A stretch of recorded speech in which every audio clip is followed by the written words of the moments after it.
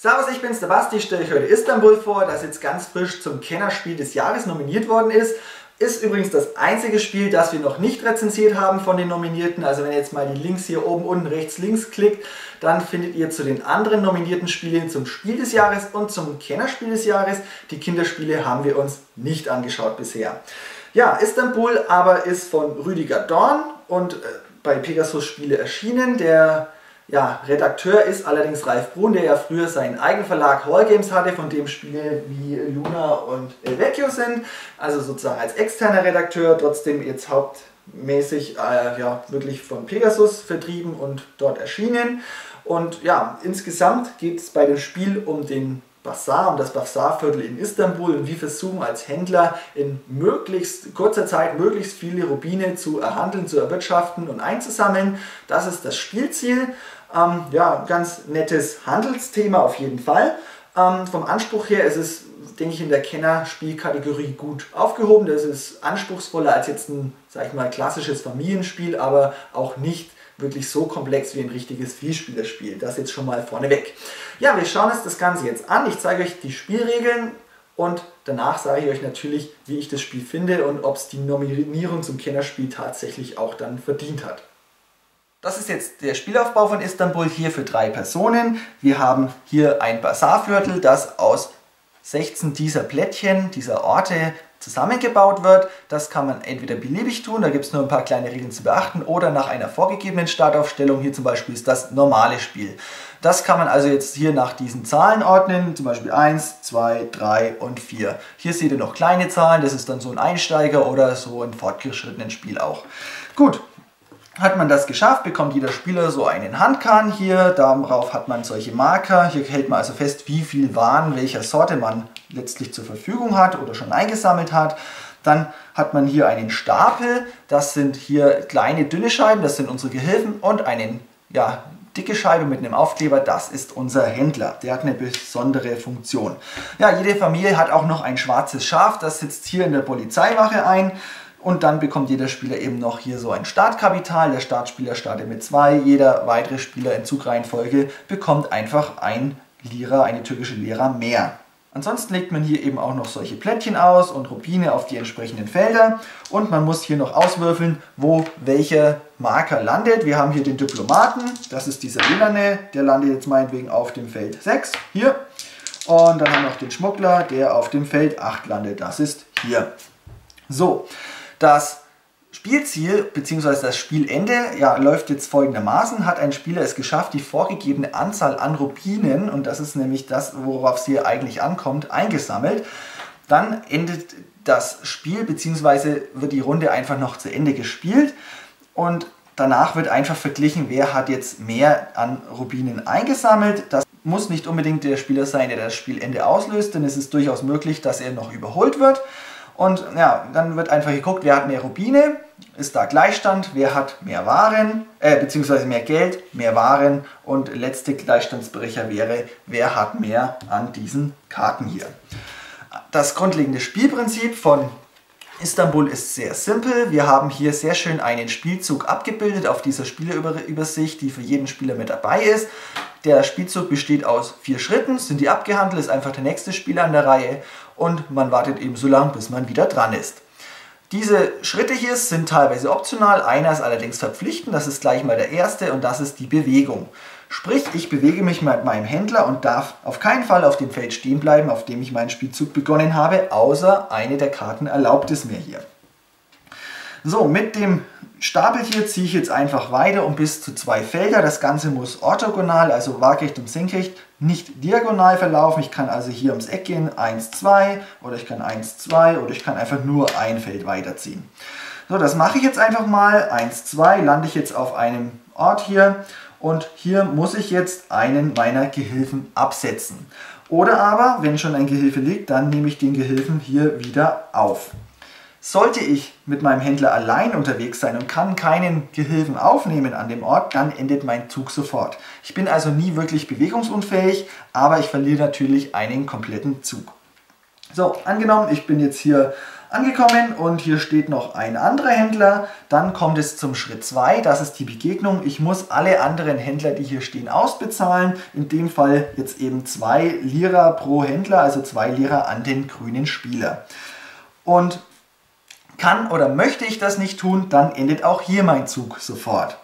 Das heißt also, eigentlich will ich ihn schon ausbezahlen, damit ich hier nämlich in Schritt 3 die Ortsaktion durchführen kann. Denn deshalb bewegt man sich ja hier über den Bazar. Jeder Ort hat eine spezielle Funktion, die sind teilweise ein bisschen ähnlich, aber im Grunde ist jeder Ort ja, hat eine unterschiedliche Aktion, die man hier ausführen kann. Die Ortsaktionen werde ich dann gleich nach der grundlegenden Spielzugerklärung erklären. Ja, und jetzt kommt es noch zu Schritt 4. Es kann nämlich sein, dass ich auf einem Feld gelandet bin, wo jetzt hier der Diplomat steht oder der Schmuggler steht oder das Familienmitglied eines anderen Spielers steht. Steht hier also meinetwegen drauf der, ja, das Familienmitglied des grünen Spielers, dann muss ich ihn verpflichten, zurück in die Polizeiwache schicken und ich erhalte dafür entweder drei Lira aus der Bank oder ich bekomme eine Karte von diesem Kartenstapel hier. Ja, ansonsten haben wir eben noch Schmuggler und Diplomat. Diese beiden sind freiwillig. Zunächst einmal muss man dann den Diplomaten abhandeln. Hier kann ich mir jetzt eben eine Bonuskarte vom Stapel nehmen und dann eine andere dafür ablegen. Das heißt, ich kann meine Handkarten verbessern. Oder aber, wenn ich keine Handkarte ablegen möchte, kann ich die auch behalten und einfach zwei Lira in die Bank zahlen, dann darf ich sie einfach so behalten. Ähnlich funktioniert auch der Schmuggler. Hier kann ich jetzt entweder zwei Lira zahlen, um mir eine Ware zu nehmen, oder aber ich gebe eine beliebige Ware ab, um eine andere hier zu bekommen. Ganz, ganz einfach. Das ist jetzt also der grundlegende Spielzug und jetzt kommen wir zu den Ortsaktionen. Wir gehen einfach mal der Reihe nach durch. An der Wagnerei hier kann ich 7 Lira bezahlen, um meinen Handkahn auszubauen. Äh, eine Ortsaktion darf nur einmal durchgeführt werden pro Zug. Man kann die also jetzt nicht hier mehrere auf einmal kaufen. Das wäre nicht erlaubt. So, ähm, ja, hat ein Spieler jetzt alle drei Ausbauten hier im Laufe des Spiels sich dazu gekauft, dann bekommt er hier einen Rubin, den er schon mal hier vor sich ablegen kann. Dann haben wir hier Tuchlager, Gewürzlager und Obstlager. Die funktionieren alle sehr, sehr ähnlich. Lande ich also mit meinem Händler hier und darf die Aktion ausführen, dann fülle ich einfach hier zum Beispiel im Tuchlager meinen Tuchvorrat auf volle Kapazität. Also es kann halt sein, dass ich schon drei Tuch habe, dann darf ich auch nur auf 5 auffüllen oder ich habe 0 und kann komplett auf 5 auffüllen. Das ist natürlich am effektivsten. Ja, genauso funktioniert es hier mit den Gewürzen grün und dem Obst gelb. Dann haben wir hier das Postamt, landet hier ein Spieler. Dann nimmt ihr sich einfach alles, was hier offen ausliegt. Wir haben hier zum Beispiel Gewürz, ein Geld, ein Obst und nochmal ein Geld. Eine türkische Lira. Nach dem Zug, nach der Ortsaktion, wird einer dieser Würfel hier nach unten geschoben und der nächste Spieler, der darauf kommt, hat jetzt schon mal wieder eine andere Auswahl. Ja, das Ganze geht so lang, bis also der letzte nach unten geschoben wird. Da ist natürlich jetzt die Auswahl am besten, denn man bekommt hier schon mal Tuch, Zweigeld, Zweigeld und einen blauen Schmuck, äh, eine ja, wahre Schmuck sozusagen, die deutlich wertvoller ist als die anderen Waren.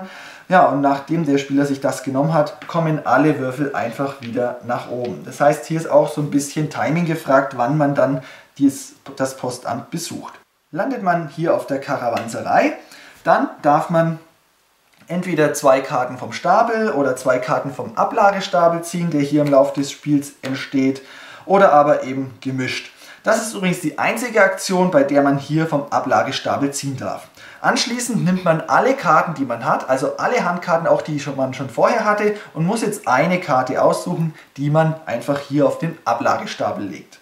Ansonsten habe ich ja bei diesen Karten, das habe ich jetzt beim Spielzug vergessen, immer die Möglichkeit, pro Zug beliebig viele dieser Karten einfach auszuspielen während meines Spielzugs. Die bringen einen bestimmte Vorteile, zeige ich gleich mal, zum Beispiel hier, ich nehme eine Ware meiner Wahl oder hier, ich darf eine spezielle Ortsaktion zweimal ausführen oder ich darf am Markt beliebig viele oder beliebige Waren verkaufen, muss mich nicht an Vorgaben halten und so weiter. Ich zeige da, zeig dann nachher noch einfach ein paar Sachen, die es dann noch gibt.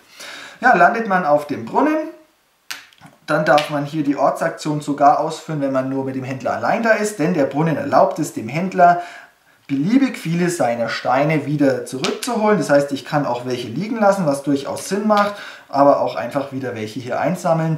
Und mehr darf ich hier aber allerdings auch nicht tun. Dann geht es halt von hier aus wieder los. Der Schwarzmarkt ist jetzt eine Möglichkeit, hier an Schmuck ranzukommen. Und zwar muss ich hier eine Ware aus meinem Handkahn abgeben, würfel dann mit zwei Würfeln und je nachdem, was das Würfelergebnis hier anzeigt, darf ich mir entweder ein, zwei oder drei Schmuck nehmen. Würfel ich allerdings eine Zahl unter 7, gehe ich leer aus und habe die Ware umsonst ausgegeben und eben gar nichts bekommen. Ja, dann haben wir hier die Teestube. Bei der Teestube, das ist so ein bisschen ja, wie ein kleines Casino. Ich ziehe hier also drauf, sage an, ähm, eine Zahl von 3 bis 12. Dann würfel ich und habe ich also die angesagte Zahl erreicht oder vielleicht so eine, sogar eine höhere Zahl gewürfelt, darf ich mir ja, Geld in Höhe der angezeigten, äh, angesagten Zahl nehmen. Sollte ich mich ja, verspielt haben bzw. zu viel riskiert haben, dann bekomme ich aber auf jeden Fall zwei Geld. Also es ist nie ganz umsonst hier. Ja, als nächstes kommen jetzt hier noch großer Markt und kleiner Markt. Die unterscheiden sich eigentlich nicht großartig, außer an den Waren, die man hier abgeben kann. Denn jeder Markt hier hat solche Bedarfsplättchen, die man sozusagen befriedigen muss. Ziehe ich also jetzt hier hin, dann kann ich also diese Waren hier verkaufen. Zwei Schmuck meinetwegen und ein Obst und ein Gewürz und ein Tuch. Also man muss aber nicht alle abgeben. Hier steht nämlich so eine kleine Auflistung. Gebe ich zwei der gewünschten Waren ab, kriege ich meinetwegen sieben. Gebe ich alle fünf ab, sind es schon 25 Geld. Das gleiche ist beim kleinen Markt, der funktioniert genauso. Hier hat man seltener solche Schmuckwaren abzugeben, dafür springt auch letztlich weniger Geld raus. Hier sind es zum Beispiel jetzt bei 5 abgegebenen Waren nur 20 anstatt 25 beim großen Markt. Ja, dann kommt die Polizeiwache, ziehe ich hier drauf, kann ich mein Familienmitglied losschicken, das hier irgendwo auf dem Spielplan einfach mal eine Ortsaktion durchführt. Diese Figur hat keinerlei Bewegungen, äh, Begegnungen mit Händlern oder solchen Diplomaten und so weiter, sondern ich mache einfach nur die Aktion und ich kann natürlich die Polizeiwache dann nur ausfüllen, führen, wenn hier auch ein, eins meiner Familienmitglieder steht. Denn ist er noch in der Stadt unterwegs, kann ich ihn natürlich nicht losschicken. Das heißt, mich freut es dann auch, wenn ein Mitspieler auf ein Feld zieht und der letztlich wieder zurückkommt. So, Jetzt kommen wir gleich zu den Feldern 13 und 16. Das ist nämlich sozusagen die Haupteinnahmequelle an Rubinen. Hier gibt man einfach entsprechende Anzahl an Waren ab und äh, kriegt dann hier ein Rubin dafür. Also hier blau, rot, grün, gelb, eine beliebige Ware und dann kriege ich den Rubin. So, jetzt sieht man aber, das Ganze wird jetzt teurer, je mehr Rubine weg sind, umso höher ist die Nachfrage, umso mehr steigt der Preis dann natürlich. Es wird also äh, ja, der belohnt, der hier frühzeitig da ist. Genauso funktioniert das hier. Beim Edelsteinhändler hier zahlt man einfach Geld und jeder Rubin, der weggenommen würde, wird, äh, wurde erhöht den Betrag, den man zu zahlen hat, um genau ein Geld. Ja. So, und dann haben wir jetzt noch hier die kleine und die große Moschee. Hier kann man sich Vorteilsplättchen sichern. Jeder Spieler natürlich nur eines. Für jeden Spieler ist auch eins da, außer im Spiel mit fünf Personen. Da sind die dann etwas verknappt. Und man muss hier jetzt praktisch ein äh, bisschen was bezahlen. Man muss erstmal hier die angegebene Menge an Waren vorweisen können. Also hier, ich muss zwei Tuch haben und eins davon gebe ich ab. Der nächste Spieler muss schon drei Tuch haben und eins davon abgeben und der nächste muss schon vier Tuch haben und eins davon abgeben. Was allerdings nur möglich ist, wenn man auch seinen Karren hier entsprechend ausgebaut hat. Hat jetzt ein Spieler beide Plättchen einer Moschee, also entweder von der kleinen oder von der großen, darf er sich auch hier den entsprechenden Rubin hier unten aus der Ecke nehmen. Also hier und hier würde das auch nochmal gehen. Gut, ja, und so kann man hier im Laufe des Spiels einfach seine Rubine sammeln. Jetzt kommen wir noch ein bisschen zu diesem Plättchen hier. Mit dem Plättchen kriege ich einfach meinen verbliebenen Gehilfen, der zunächst mal draußen bleibt. Den darf ich dann sofort zu meinem Händler mit hinzunehmen. Hier darf ich zwei Geld ausgeben um einen meiner ja, Gehilfen zu mir zurückzuholen. Einfach mitten im Zug. Dieses Bettchen ist sehr schön, das erhöht einfach einen oder ja, einen Würfelwurf, denn ich darf einen meiner Würfel auf eine 4 drehen. Das ist schön bei der Teestube oder hier am Schwarzmarkt sehr hilfreich auf jeden Fall. Und dann hier hier darf ich jetzt, wenn ich in einem Lager bin, das ist dieses Symbol hier, also hier oben in der Ecke dann zu finden, von der Ikonografie ist er wirklich gut gemacht, darf ich zwei Geld ausgeben, um mir eine beliebige andere Ware hier zu kaufen. Ist also auch so eine Möglichkeit, wie man noch an andere Waren herankommen kann. Ja, das sind so die Vorteile von den Plättchen und jetzt schauen wir uns einfach noch ein paar Karten an. Hier diese Karte erlaubt es mir zum Beispiel, mich einmalig um drei bis vier Felder statt ein bis zwei Felder zu bewegen. Hier kann ich den Sultanspalast doppelt ausführen. Ich könnte mir praktisch, wenn ich genug Waren habe, hier zwei Rubine kaufen in eine, einen Zug. Ja, beliebige Ware hatten wir schon. Dann hier einfach doppelt den Edelsteinhändler ausführen. Einfach mal fünf Geld nehmen. Ja, das kann man auch einfach mal auf der Hinterhand behalten, ohne dass die Spieler das sehen. Dann hier darf ich stehen bleiben, muss allerdings dann auch bei der Bewegung eine Scheibe absetzen oder aufnehmen. Dann ähm, hier kann ich meinen eigenen äh, oder mein eigenes Familienmitglied zurück in die Polizeiwache schicken und kriege dafür eben auch die entsprechende Belohnung nach den normalen Regeln. Dann hier kann ich das Postamt zweimal hintereinander ausführen, auch eine nette Geschichte. Äh, was haben wir noch? Ich glaube, so sehr viel ist es dann auch gar nicht mehr. Im Grunde stehen auch alle Karten, die es hier gibt, hier unten nochmal drauf. Das heißt, da muss man sich auch nichts merken. Man kann alles wirklich richtig schön nachlesen. So, das war jetzt das eigentlich schon das komplette Spiel. Alle Regeln habe ich erklärt. Es gibt noch eine Zweispieler-Variante, die ein bisschen ja, einfach das Zweispielerspiel auch interessant macht. Und im Grunde, ja, versucht man hier also Waren einzukaufen, Geld zu machen und natürlich möglichst vieles Edelsteine sich zu holen in möglichst kurzer Zeit und den anderen immer ein bisschen zuvorzukommen. Und er hat so ein bisschen Waren aufnehmen und wieder verkaufen, also Pick up and Deliver. Und wer das Ganze dann am besten macht, der gewinnt natürlich das Spiel und freut sich. Das war jetzt fast schon eine vollständige Regelerklärung, viel mehr braucht es eigentlich fast gar nicht mehr. Ähm, wie gewohnt fangen wir jetzt einfach mal bei den Komponenten an. Istanbul ist wirklich, sage ich mal, von der Aufmachung her richtig schön gestaltet. Also die ganze Grafik, das Artwork gefällt mir echt richtig gut. Klar, ist immer subjektiv, aber trotzdem echt gut gemacht. Die Symbolsprache ist sehr, sehr schön. Ein paar kleine Sachen könnte man besser machen, aber im Grunde ist es wirklich sehr, sehr gut, um reinzukommen. Ähm, und äh, ja, unterstützt einfach die Zugänglichkeit, die das Spiel hat. Zudem natürlich noch diese tolle Spielhilfe mit dabei, wo alle Karten, die es hier gibt, erklärt sind, wo der komplette Spielzug drauf ist, wo sich die Mitspieler wirklich nicht so viel merken müssen unnütz, sondern wo man einfach jeder Reihe nach lang gehen kann. Das muss ich einfach immer wieder loben. Die Komponenten sind solide Qualität, wir haben gute Stanzteile, gute Pappteile auf jeden Fall. Die Rubine gefallen mir, schön, dass es nicht einfach nur irgendwelche roten Würfel geworden sind, sondern auch ein bisschen ja, thematisch rüberkommen. Ansonsten einfach solide, gewohnte Qualität. Ähm, ja, das Spielerische ist jetzt wie gesagt schon relativ ja, leicht zu erlernen. Also man kommt hier sehr schnell rein. Das ist einfach durch die Spielhilfe, durch die Symbole, aber auch durch das ganz einfache Spielprinzip wirklich richtig gut unterstützt. Einzige Sache, die, was halt jetzt sozusagen komplizierter wird, ist dann das Spiel an sich. Also die Regeln sind einfach. Das, was man tut, ist durchaus gewissermaßen anspruchsvoll. Ich habe hier also so eine Art Pick-up and Deliver, also ich nehme irgendwo was auf und schaffe es irgendwo hin und liefere es da ab und so weiter. Das hat man einfach hier mit drin, bewegt mich über diesen Spielplan und muss hier wirklich sehr viel logistisch nachdenken, nachgrübeln und überlegen, wie ich das Ganze jetzt am besten mache und wie ich das Ganze optimal spiele, denn in vielen Partien entscheidet wirklich teilweise wirklich die letzte Zug oder ein Zug über Gewinnen und Verlieren. Ähm, das ist immer sehr, sehr knapp. Das heißt, man muss wirklich sehr, sehr optimal spielen. Und das ist wirklich, wie gesagt, durchaus anspruchsvoll, also nicht allzu einfach im Gegensatz zu den Regeln an sich. Ähm, ja, die Ortsaktionen an sich sind auch schnell erlernt, was man hier tut und macht. Das ist ja auch, wie gesagt, durch die Bildsprache unterstützt. Ähm, wirklich keinerlei Problem. Aber wie das Ganze jetzt interagiert, wie ich mich hier bewegen muss, das ist schon wirklich anspruchsvoll.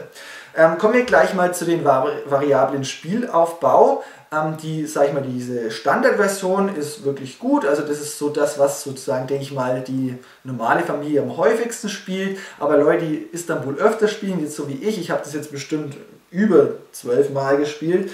Ähm, ja, da reizt es natürlich dann schon, das Ganze mal ein bisschen äh, zufällig aufzubauen und das äh, bringt auch nochmal ziemlich interessante Aspekte mit. Erinnert mich so ein bisschen an Dominion. Ich muss mir vorher praktisch anschauen, was liegt aus, wie liegt es aus und was könnte jetzt hier die beste Strategie sein, die, ja, das, das, das Beste sein, wie ich hier ja, agieren und vorgehen kann.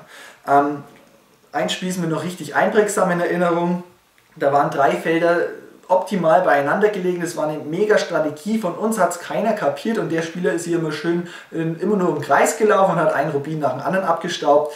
Ja, und das muss man eben, sage ich mal, als Kenner des Spiels dann erkennen und dagegen handeln. Das heißt, ich muss mich da mit in diese Strategie ja, mit reinhängen, mich da anhängen. Da wird das Ganze nämlich schon deutlich weniger lukrativ für den anderen und dann ähm, ja, kann es hier nicht zu Unausgewogenheiten kommen, sondern dann muss der andere eben gucken, wie man äh, ja, sonst so an seine Rubine rankommt. Also es ist wirklich, ähm, es kann unausgewogen sein, wenn die Mitspieler wirklich nicht erkennen, welches Potenzial eine bestimmte Konstellation hat.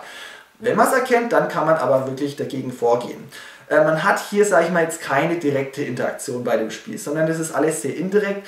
Ähm, hauptsächlich ist es halt so, ja, ich springe auf irgendwas auf, was ein anderer gerade auch macht. Ich begebe mich in seine Nähe und ich versuche ihm zum Beispiel Felder zu blockieren bzw. einfach teuer zu machen. Ich ziehe auf die Felder, die er vielleicht auch gerade möchte. Und das ähm, kann den anderen schon richtig ärgern und in die Quere kommen. Gerade wenn der Spieler vielleicht kein Geld mehr hat, ist es auch besonders gut zu überlegen, welches Feld will er jetzt unbedingt haben, zieht drauf und dann kann er zwar hinziehen, aber er kann die Ortsaktion nicht ausführen. Das ist auch ziemlich gemein, von daher muss man auch immer ein bisschen mit seinen Ressourcen haushalten. Man sollte nie sein Geld, denke ich mal, auf einmal ausgeben, sondern ist man ziemlich berechenbar und kann dann ganz schön auf die Nase fallen. Also ähm, ja, ihr seht, da steckt eine Menge drin, gerade auch mit dem variablen Spielaufbau, aber auch so. Es ist immer wieder sehr interessant. Äh, man muss wirklich auf die Mitspieler reagieren, wie sie ziehen, wohin sie ziehen. Oft muss man wirklich seine Pläne über den Haufen werfen. Dennoch kann man immer gut voraus überlegen, man hat, kann seine Möglichkeiten durchgehen. Ähm, es kann einmal was Blödes passieren oder es kann passieren, dass ich komplett neu alles überdenken muss.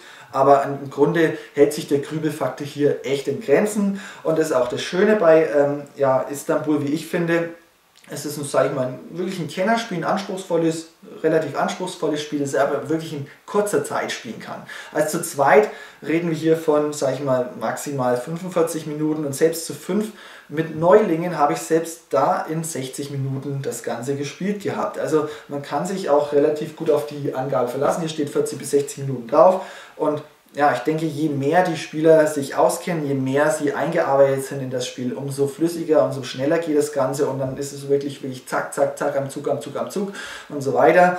Ähm, da hält meistens nicht die Grübelei auf, sondern derjenige, der da nicht checkt, dass er ja schon wieder dran ist. Also das ist dann schon häufig der Fall gewesen. Was? Ich bin schon wieder dran? Gibt's doch gar nicht. Wie schnell geht das eigentlich? Also ähm, ja, von daher auch vom Spielfluss eine ganz nette Sache. Kommen wir zum Spannungsbogen. Ich finde das Spiel total spannend, gerade gegen Ende hin. Ähm, manchmal, in manchen Partien kommt es vor, dass schon abzusehen ist, wer gewinnt. In manchen Partien kommt es auch vor, dass ein Spieler total abgeschlagen ist und wirklich man weiß, das wird nichts mehr. Ja, das kommt durchaus vor. Aber ja, trotzdem finde ich es in den meisten Partien war es am Ende doch nochmal ganz schön spannend, weil es dann teilweise wirklich auf einen Zug oder eine Aktion dann nochmal ankam. Und sozusagen haben wir immer wirklich echt ja, so, so ein bisschen Kribbeln im Bauch auch und schon auch bei den einzelnen Zügen klappt das Ganze jetzt, wie ich mir vorstelle. Kommt mir einer irgendwie blöd daher und ich kann vielleicht das nicht machen, was ich möchte. Äh, das kann natürlich immer passieren. Ja, ähm, an sich haben wir natürlich auch einen gewissen Glücksfaktor mit drin. Man muss bei manchen Feldern würfeln. Diese ja, Leute bewegen sich und die können auch schon oft mal das Zünglein oder das Quäntchen, letzte Quäntchen sein, das einem dann fehlt ähm, wie die sich bewegen, das ist einfach nicht steuerbar. Karten habe ich natürlich einen gewissen Glücksfaktor, wobei ich ja bei der Karawanserei zumindest hier vom offenen Kartenstapel ziehen kann, was auch schon ein guter Vorteil sein kann. Aber es ist auch, sage ich mal, ein guter Schuss Glück mit drin. Das stört mich aber hier überhaupt nicht. Ähm, es ist ja jetzt trotzdem so, dass man hier äh, durch gutes Spielen, durch gutes Taktieren, durch gute Planung trotzdem eine Menge rausholen kann. Ähm, ja, und der Glücksfaktor, finde ich, macht so den Geschmack des Spiels einfach noch so ein bisschen aus und trägt natürlich auch dazu bei, dass das Ganze eben nicht hier zu Grübelorgie wird und zur Analysis Paralysis führt.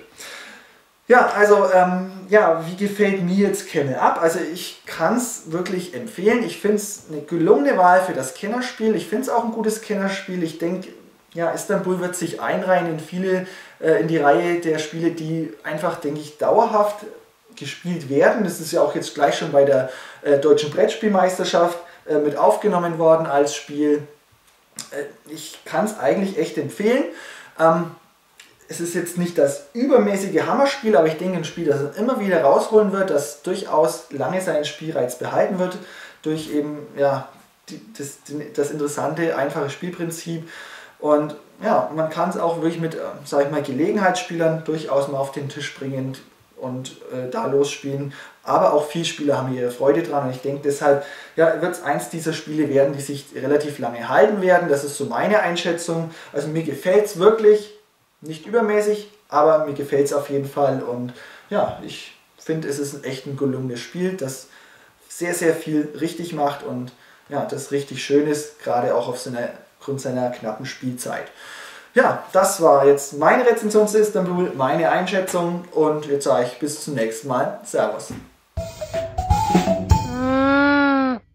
Aus diesen 15 Karten wählt man sich jetzt einfach 5 Karten aus, denn es gibt vier Runden und in jeder Runde kann man bis zu 5 Karten eben spielen, wenn man Glück hat. Wenn man Pech hat, nur 3, denn in jeder Spielrunde gibt es genau 3 Kartenrunden. So, nachdem alle Spieler jetzt ausgewählt haben, legt jeder Spieler eine Karte verdeckt vor sich ab.